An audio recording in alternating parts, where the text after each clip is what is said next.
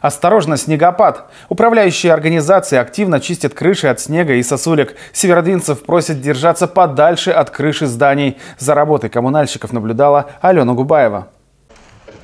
Метеорологи обещают, снегопады задержатся на севере Поморья до 29 января. Управляющие компании в полной боеготовности. Раньше крыши очищали раз в неделю, теперь по мере необходимости, порой каждый день.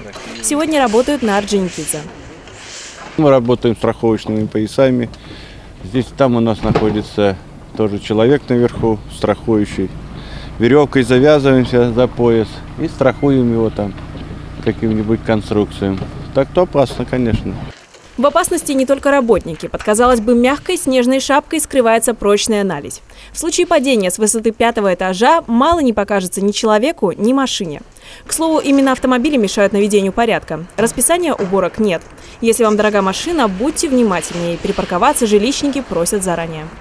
Жителям вывешиваются объявления, напоминания о том, что, мы, что они самостоятельно должны очищать э, свои э, самодельные козыречки балконов от э, снега и наледи в период оттепели.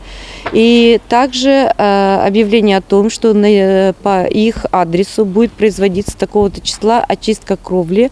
В ответе за чистые крыши именно управляющие компании, не администрация города. Для заявки на уборку достаточно одного звонка коммунальщикам.